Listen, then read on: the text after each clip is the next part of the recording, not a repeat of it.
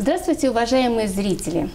Я напоминаю, что в этом году в Ульяновской области объявлен год книги, а вместе с ним стартовал и проект «Книгомания». И вот в рамках этого проекта к нам приехал писатель, сценарист, драматург Алексей Иванович Слоповский. Здравствуйте, Алексей Здравствуйте. Иванович. Алексей Иванович, меня вот удивляет, как вы успеваете все. Вы и писатель, драматург, сценарист.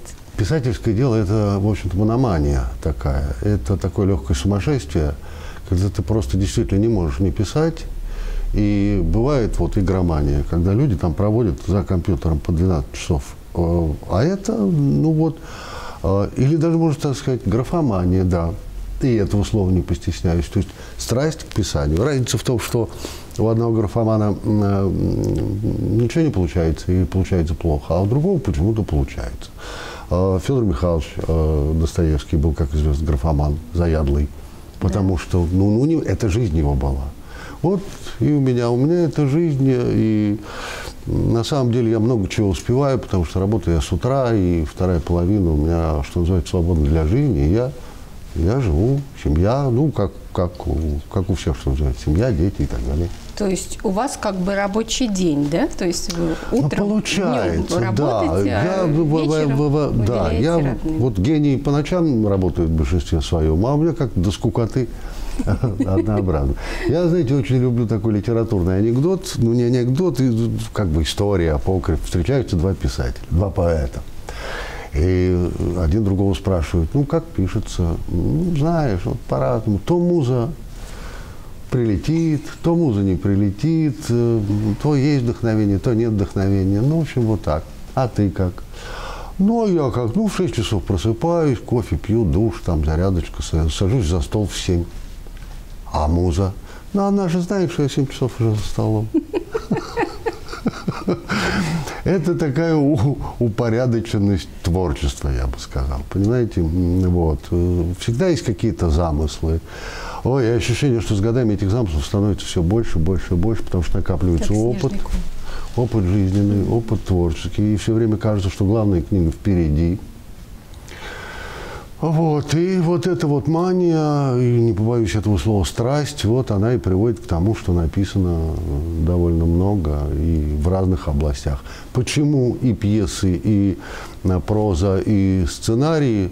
Ну, так получилось, э, потому что начинал я с пьес, угу. были диалоги, которые звучали у меня в голове и были ремарки. Потом ремарки стали все длиннее, длиннее, длиннее, и однажды я понял, что ремарка целую страницу, я пишу не пьесу, а повесть. И как-то вот совершенно естественно, я не знаю почему, но получилась проза. А потом, довольно поздно, вот, я захотел прийти в кино. Но кино тогда почти не было, это был конец 90-х, и поэтому э, вышли сериалы. Э, а когда была первая проба пера? Это школьный возраст или студенчество уже? А может, вообще вы еще в школу даже не ходили? Я всегда что-то сочинял. У меня по литературе, по сочинениям оценка была всегда 5-2. Там двойная оценка за содержание и за грамотность. Почему? Потому что, например, сочинение о Маяковском, как сейчас помню, я писал э, Лесенкой под Маяковского. Вот. И какие там запятые? Да. Кстати говоря, Владимир Владимирович тоже не знал запятых. Вот. Это, да. ну, ну, ему не мешало это быть гением. Да. Вот, не знаю, чему это. Ну, вам мне мешала грамотность, в конце концов. Вот, я все время что-то сочинял. И в университете, когда учился, что-то сочинял. И э, когда работал э, учителем, и когда работал грузчиком, и когда работал на саратском телевидении и радио. Все время я что-то писал. Ну, я писал и писал для себя, что называется. А потом так получилось, что моя первая пьеса попала к Виктору Сергеевичу Розову. И Это какой год был?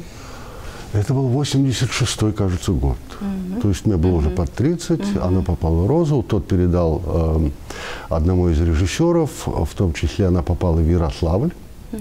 Ярославле в 87 кажется, году состоялась премьера моей первой пьесы, которая называлась «Шнурок или любил, люблю, буду любить. Да еще... Двойное название. О, Господи, да, да, да еще и подзаголовок.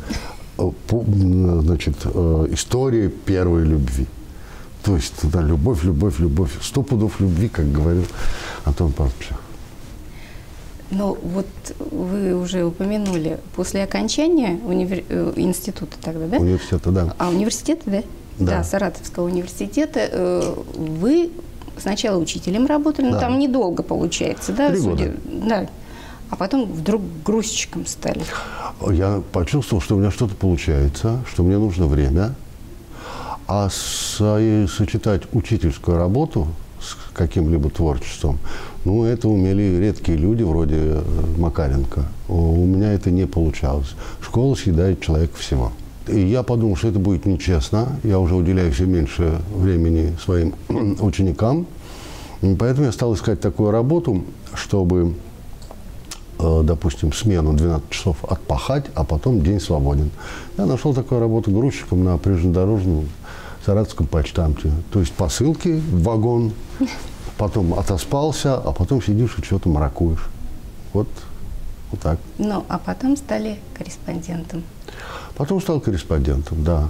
Вот. Ну, ну, опять же, всегда это уже сочеталось. То есть я и двойная всегда работа такая, то есть и пишешь, э, передачи делаешь, э, вот. Ну, выход один – сделать передачу как можно быстрее, желательно качественно, потому что ее не, не- просто не заверят, в эфир не пустят. Вы знаете, как это бывает. Ну, вот, скажут, что это такое, проходной материал не годится. Ну и опять, а вторую половину дня, к примеру, сидеть и что-то такое сочинять. Ну, а потом вас пригласили в журнал «Волга», да? Как это Эм, произошло? Да, я был сначала стал автором э, журнала «Волга», а потом э, замечательный Сергей Григорьевич Боровиков, главный редактор, дай бог ему здоровья, пригласил меня редактором, зная, что у меня образование подходит, что вроде я в словах кое-что понимаю, и я был редактором отдела прозы несколько лет. Ну и заодно писали, наверное. Как всегда, если я видел, что не хватает прозы, которая устраивала меня и журнал, приходилось писать самому и заполнять страницу журнала. Конечно, я шучу, но, ну да, я там написал сначала первую свою повесть «Искренний художник», а потом свой первый роман, который называется «Я не я». Э, И у него счастливая судьба, он переведен на немецкий, на французский, на еще на какие-то языки. И он экранизирован. Есть четырехсерийный телефильм, по моему сценарию написанный. Вот. И я э, зрителям, которые нас, нас смотрят, я этот фильм рекомендую. Э, Это, на мой взгляд, это самая удачная и моя работа, и работа режиссеров, и актеров. Последняя роль Владислава Галкина, великолепная роль Гуськова, других прекрасных актеров. Вот «Я не я», четырехсерийный фильм, он есть в сети. А он когда вышел тоже? Ой, году в девя- в 2000 то ли шестом, то ли вот где-то восьмом, я, я уже не помню. Но э, меня радует, мне приятно, что э, посетители известного сайта Кинопоиск выставили ему такую хорошую оценочку, там к восьмерке приближается, что весьма неплохо. А там люди компетентные, то есть, да, у нас совпадает. Мне тоже самому нравится этот фильм. Забегая вперед, далеко не все, что снято по моим сценариям, мне нравится. Ну, первая книга, наверное, вышла в 90-х годах, да? Это был 93 94 год. Мгм. И потом уже вот стали выходить произведения, они были на разная тематика у них, да, и фантастические в том числе. Всякий. Элемент фантастики у меня существовал в 90-е годы практически всегда. Вот. И роман «Первое и второе пришествие», который тоже переведен на несколько языков. И сейчас вот во Франции в апреле выйдет новое издание, перевод на французский язык. Один из любимых моих романов, это, ну, это чистая фантастика. Но вы считаете себя фантастом? Нет, конечно. Это социальная фантастика. Это фантастика, как у Гоголя. Нос пошел гулять. А в первом-втором пришествии сумасшедший совершенно человек а, объявил, что его сосед новоявленный Иисус Христос. Ну, должно быть первое второе пришествие. Да. Он пришел и сказал, вот по моим подсчетам, твоя мама родила вообще неизвестно от кого. Может быть, она даже была девственница. Ну, в общем, это вот, вот, вот так. Ну, вот. это как это все рождается? Мне интересно. Вот. А, м, ну, Случайно или что-то вот вас подтолкнет на это? Вот, Не ну, вот как знаю, раз вот это- первое, второе пришествие, как появлялось произведение само?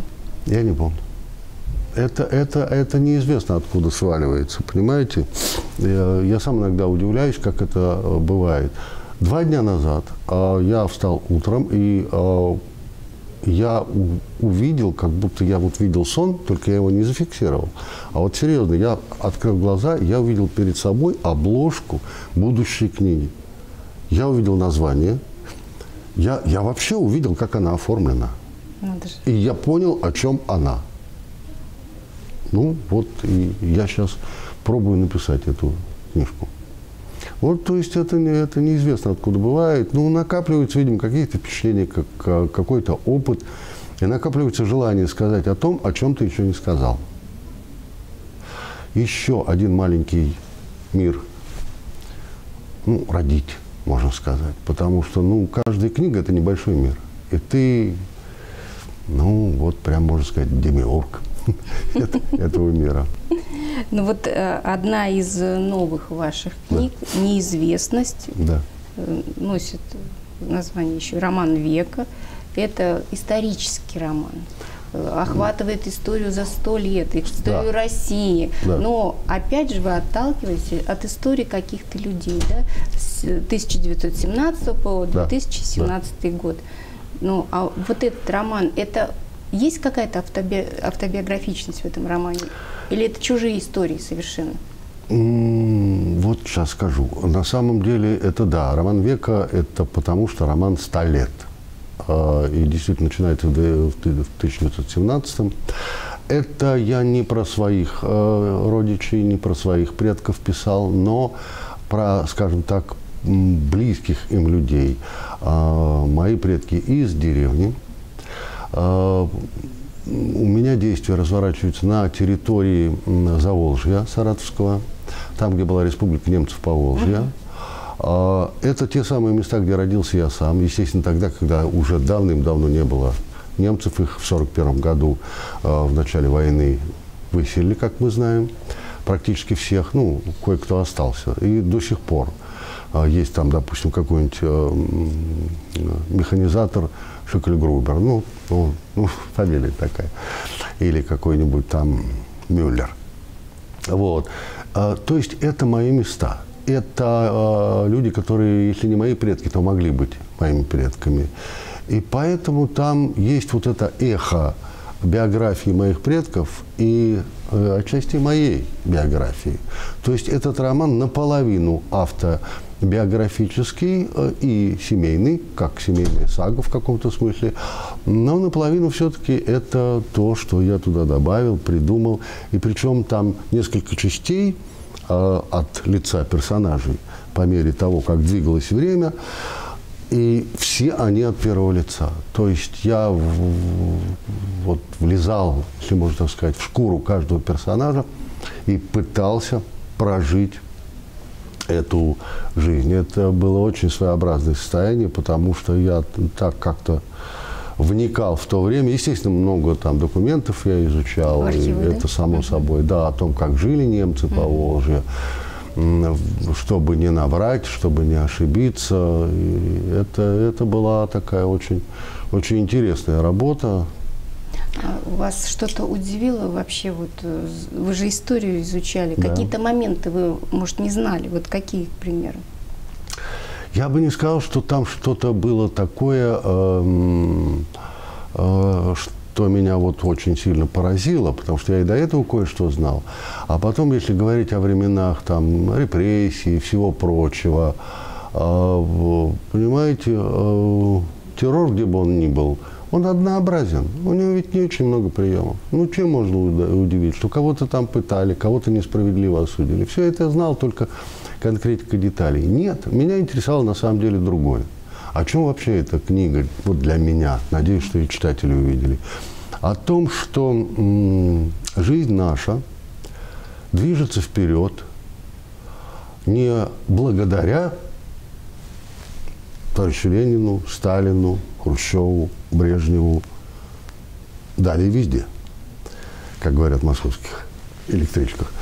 А, да нет, а благодаря особенным людям, которые, эм, несмотря ни на что, они хотят жить работать, создавать семью, творить. Понимаете? А, как-то у меня был спор с одним из таких квазипатриотов упертых. Он говорил, ну вот, э, такие люди, как, допустим, э, Королев, э, работал в Шарашке, но тем не менее не забывал о родине и прочем, прочем. Я говорю, пойми, слава тебе Господи, что в каждом человеке есть жажда творчества, жажда созидания. Его хоть в яму посади, а он будет творить. Вот эти люди, не потому, что они вот полюбили э, этот строй и начали на него работать. Они хотели создать что-то новое. Я очень уважаю, я люблю в людях вот эту вот тягу сделать то, чего еще не было. Вот благодаря этой тяге к новому, к созиданию, как в песне «На нас бьют, мы летаем». Вот я об этом, я о таких людях написал, которые, эм, ну, вот, вот благодаря им все и происходит на самом деле. Когда я в Москве слышу такую фразу уже банальную, вот при, при Собянине Москва похорошела. Да. Я говорю, ребят, да боже мой, она при вас при, при, похорошела. Это вы клали Благодаря эту вам, плитку. Да. да, это вы там чистите снег тротуара, это вы строите дома. Ну при чем тут Собянин вообще? Да ну вас. Все мы сводим как-то к лидерам. Люди, люди все делают. Ну, плохие вещи тоже делают люди. А почему назвали неизвестность? А потому что мне история э, нашей замечательной Родины за последние сто лет представляется испытанием именно на неизвестность. А народ наш и люди по отдельности, они они, в общем-то, постоянно жили в, в состоянии, когда они не очень понимали, что происходит, и не очень понимали, куда идем. Это сейчас кажется, что вот все понимали, что такое там первые пятилетки, индустриализация и так далее. Но знаете, когда моя бабушка рассказывала о голоде в Поволжье, я не думаю, что эти люди, многие тогда еще и читать толком не умели, что они знали, куда и почему и из-за чего так случается, что люди друг друга едят. Ну, ну и такое ведь бывало, да, понимаете? Да. И поэтому для меня неизвестность это такое вот знаковое слово. Это люди перед лицом неизвестности, э, не имея, не зная о планах там партии и правительства, но тем не менее они вот, вот по инстинкту творчества, по инстинкту созидания, они все-таки хотят двигаться вперед наперекор всему. Поэтому неизвестность. И это не только... Но, но в этом не только негативный смысл в этом условии. Потому что, да, может быть, ты идешь зимой по улице, и э, за углом будет сосулька, и она тебя ждет. У моего папы так было. Он просто почувствовал, вот, вот на расстоянии миллиметра у него чуть шапку не сбила. И звук. Он оборачивается, вот такая вот глыба, гора, упавшая. Ну, прям повезло, понимаете, да? Но, а может быть, ты свернешь за угол, и там идет какая-нибудь, допустим, девушка с э, отвратительными желтыми цветами. Это я Булгакова цитирую. И вот тебе любовь, вот тебе счастье. Знал ты об этом, не знал. Это была неизвестность. Неизвестность не всегда плоха. А, и слава Богу, и слава Богу, что мы не знаем, никогда нас осенит э, э, счастьем, никогда нас а, а, очернит горем и бедой, потому что самое страшное – это, наверное, знать свой срок. Не дай Бог. Э, это, наверное, не единственный у вас роман исторический. Ну, ну, ну, я бы условно назвал его историческим, но, а вообще-то я что-то и не припомню, чтобы я углублялся в, прозаическом, в прозаических вещах. Сценарии у меня есть исторические, а больше я с историей не очень связывался. Я все больше про современность. Ну, роман получился неизвестностью удачным. Спасибо. Спасибо. Вот, ну, вы сказали, есть у вас исторический фильм. Может, сразу тогда к фильмам перейдем, поговорим? Ну, э, пока не фильм, пока только сценарий. А, сценарий еще да, только. Он а ждет какой? своего, он, он ждет своего часа. Вот, он У него рабочих названий два. Одно будет понятно всем – опричники. Второе – это синоним этого слова, называется кромешники. Просто не все помнят этого слова, а ведь опричников называли еще и кромешниками. И слово кромешный, там, кромешная темнота, э, которое появилось выражение это, оно идет вот оттуда. Почему кромешники? Потому что оно значило то же самое, что и вот опричники – это от оприч. Вот это мое, это мое, а то, что оприч – это ваше. Кроме – это то же самое. Это кроме. Кромешники. Вот такая штука получилась. Ну, это эпоха Ивана Гроз- Это Грозного. эпоха Ивана Грозного. Чем она вас так привлекла? Она мне привлекла э, двумя, э, ну, много, много чем, но два основные, ну, можно сказать, пункта. Первое. Эм, э, Я считаю, что смута, которая была позже, началась именно тогда. Смута началась из-за того, что Иван Грозный, объединив земли, э, страшно разъединил людей. Брат пошел на брата, друг пошел на друга, э, он рассорил очень многих. Начался такой национальный раздрай. Э, Ну, как мы помним, и поход на Новгород был, когда своих-своих э, метелили. Так что про Казань-то мы помним, а про Новгород как-то не, не очень вспоминаем. Это было очень сложное время.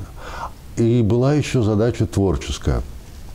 Когда я смотрю исторические сериалы, э, я понимаю, что это все время э, про царей и про цариц, что называется. Это все игры престолов у нас. Это все э, то там Екатерина Великая, то Цезарь, то что-то.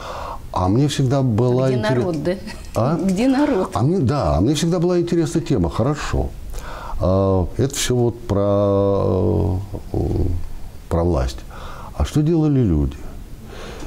Ведь, понимаете, а, огромное количество не только там холопов, которые вообще ничего не понимали, но даже и дворян, они абсолютно не понимали, что происходит. Почему Иван Грозный бросил Москву? Почему он уехал в Александровскую Слободу? Почему оттуда он а, решил отречься от престола? Что происходит? Какая такая опричнина? Почему на этих налетели, отобрали поместье, а другим, наоборот, поместье дали? Я понял, что у большинства людей в ту пору было полное, ну, в общем-то, это вариация неиз... темы неизвестности, было полное недоумение. Они смотрят туда вверх, и они не понимают, что происходит. И мне вот это состояние людей, которые не понимают, что происходит, но они вынуждены как-то жить, они вынуждены как-то быть либо за тех, либо за других, не всегда понимая, кто прав, кто виноват. У меня там история э, семьи. Отец и три брата. И все эти три брата в результате оказываются по разные стороны, ну, слова баррикад тогда не было, по разные стороны рвов, скажем так, э, изгородей. Вот, вот об этом я написал сериал, но пока из-за... А, сериал вообще. Э, а? Сериал. Это должен. сериал. Это сериал э, такой мно- многофигурный. Там пока у нас 8 серий. Он, он уже принят, он уже есть, он уже готов. Но тут началась проклятая пандемия, отложили съемки. Когда он будет, я теперь не знаю. Мне бы очень хотелось посмотреть, как тоже. это получится. У вас множество телесериалов. Да. Многие зрители, наверное, не знают даже, кто сценарист, но с удовольствием смотрят. Это тот же участок, Да. пятый угол, остановка по требованию. Тут перечислять можно очень долго. А, У вас есть, кстати, любимый сериал ваш? Я уже сказал, я не я. Это, это сериал. Ну, четыре- это считается мини-сериал. А, все. Четырехсерийный такой вот, да. Но еще у вас и сценарий к фильму. Вот э, Ирония судьбы, Продолжение. продолжение. Да, это, наверное, такой э, нашумевший был. А Тут у меня два варианта. Либо я сейчас начну ругаться, либо я промолчу. То есть не хотите о, о нем говорить? А, Все понятно. А, кстати, вот меня интересует, просто вы встречались с героями, с героями иронии судьбы, вот Эльдара Рязанова, который Я со всеми встречался. Это, это интереснее, чем говорить о самом фильме. А, ну, э, это мое мнение, с этим могут не согласиться или согласиться, в том числе создатели. Но я не считаю этот фильм удачным. Прям скажу. И все, вот точка. Но ну, зато, зато я э, благодарен судьбе, потому что она свела меня с Андреем Васильевичем Мягковым, э, который недавно да. упокоился, Царство Небесное. И э, это была, это была замечательная встреча, это были замечательные разговоры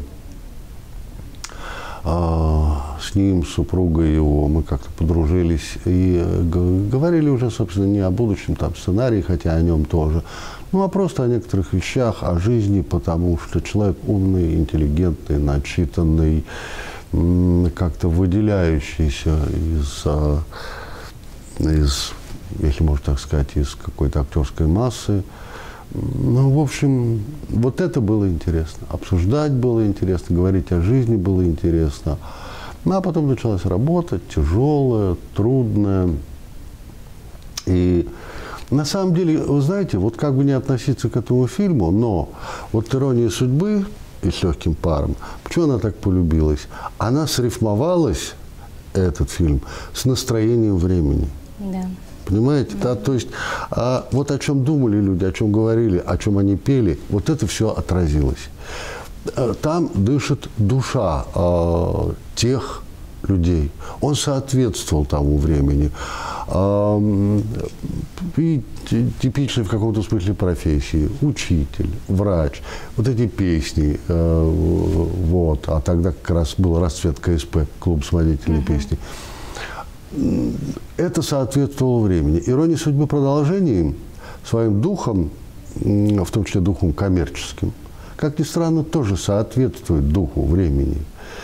Но э, этот дух времени нам ведь не очень нравится. И это отношение к духу времени, к коммерческому духу, оно по неволе перенеслось и на фильм. Ведь там кто, в общем-то, фактически победитель, на мой взгляд – ну, в общем, герой без руку, хотя он проиграл. Вот потому что ну, он там выглядит наиболее естественно. А в героя Хабенского, Хабенский замечательный актер, но я вдруг понял, что я в него не очень верю.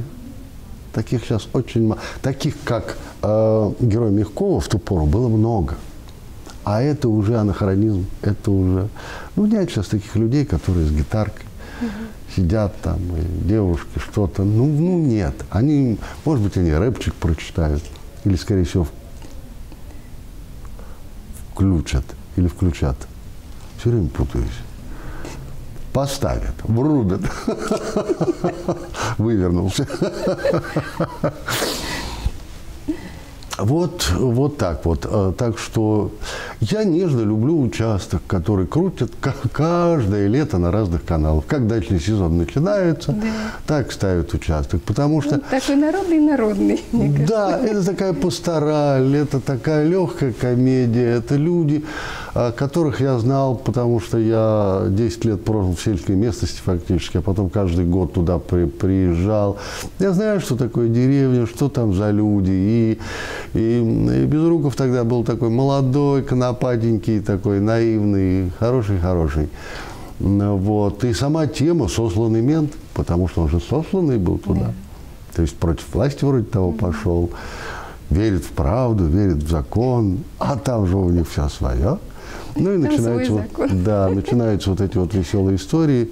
Так что я это один из немногих сериалов, который я пересмотрел, знаете, лет, лет 15 прошло, не меньше. Я взял, думаю, а так я посмотрю, как это там все было. Начал с первой серии, залип, извините, и, и вот, вот, потому что я забыл уже, как все было, и просмотрел до самого конца. Некоторые сериалы я не пересматриваю, некоторые свои сериалы, некоторые я вообще не видел. Спасибо, Алексей Иванович. Вам спасибо. Желаю вам успехов, побольше идей, книг, чтобы писался и писался вам. Я, я постараюсь. Я постараюсь. Спасибо. До свидания. Вам спасибо. Всего доброго.